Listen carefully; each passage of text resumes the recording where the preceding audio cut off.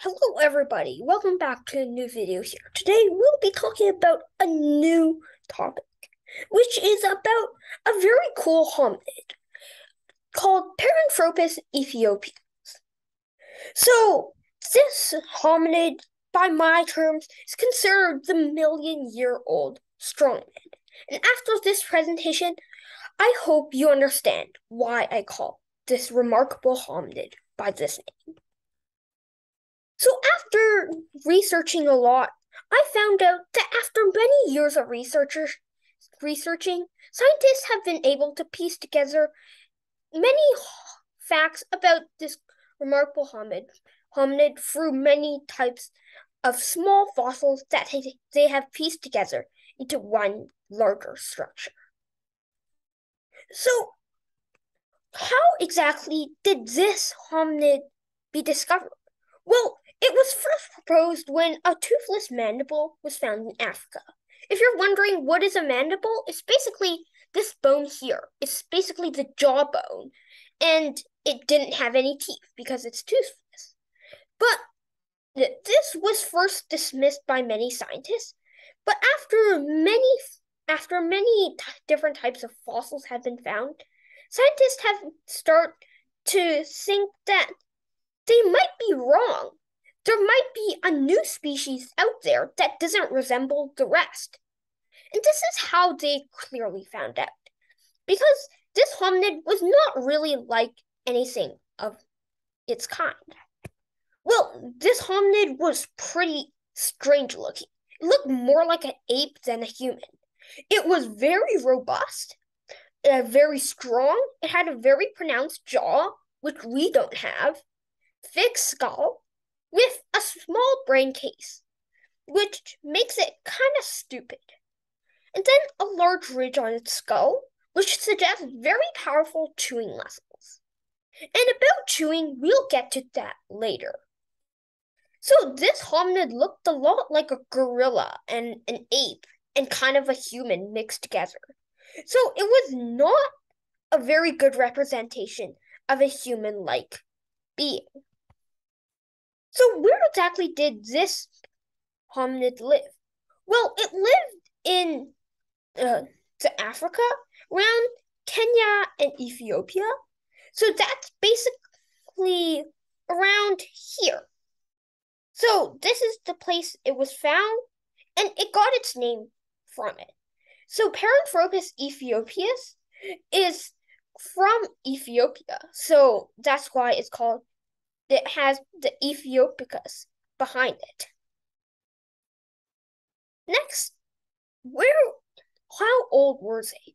Well, using many types of dating functions like carbon dating and others, scientists have found out it was around 2.5 to 2.7 million years ago. That is super old.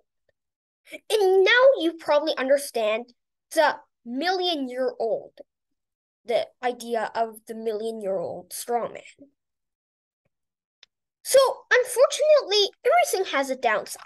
Despite being super, super strong with powerful muscles to flex in front of humans, this hominid was not the best at making tools.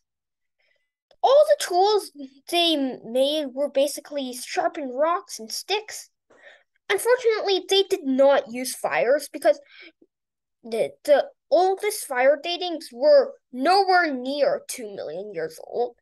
And the, they developed very strong body strength because they were kind of stupid. So they used the body strength to do most tasks, other than their mind.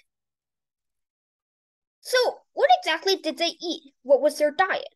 So, they ate many fruits and hard nuts, so this is a type of wild nut.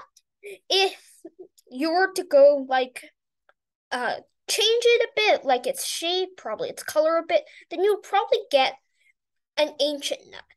So nuts have been along for a long time, and due to those like giant molars on the Paranthropus aethiopicus' skull, scientists suggest that they have used like had a vegetarian de- diet. So that involves like other things like tubers, which are kind of like potatoes and stuff, and also like some roots and vegetables. So that's basically what they ate. Now, for the first fun fact, I want to tell you that the parent Paranthropus aethiopicus is not to be uh not to be underestimated for its body strength. It's around 1.5 to 2 times stronger than a human. Not only in many tasks like arm wrestling or grasping things, it's also stronger in climbing and even bite strength. and that's why it had those massive chewing muscles and that ridge on its skull.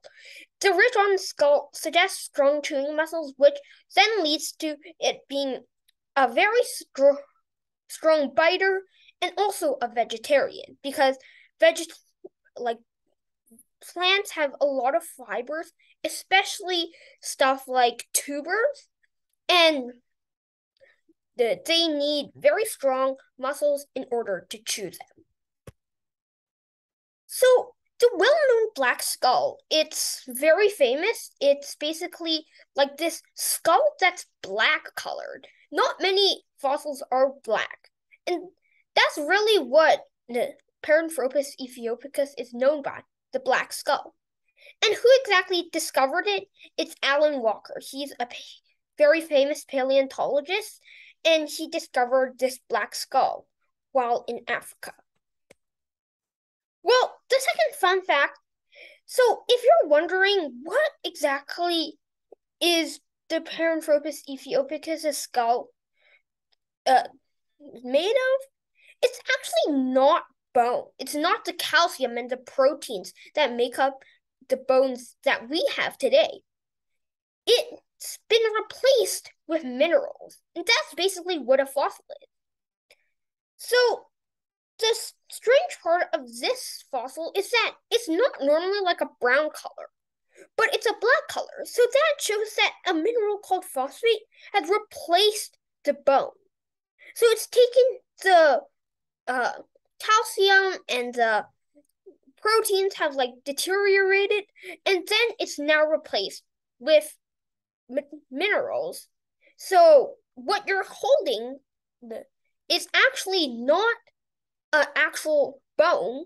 It's just some rocks stuck together into to form this shape and not exactly resemble its color. So that's basically what a fossil is.